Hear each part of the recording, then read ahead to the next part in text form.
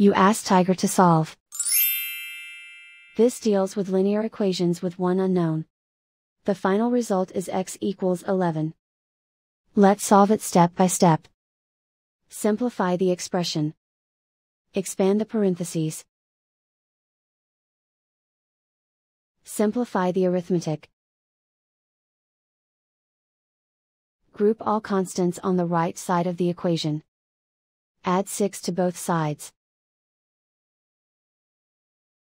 Simplify the arithmetic.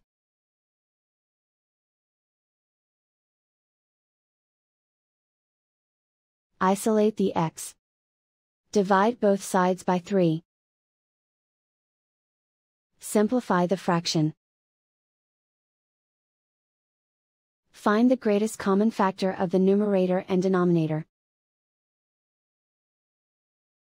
Factor out and cancel the greatest common factor. And so the final result is x equals 11.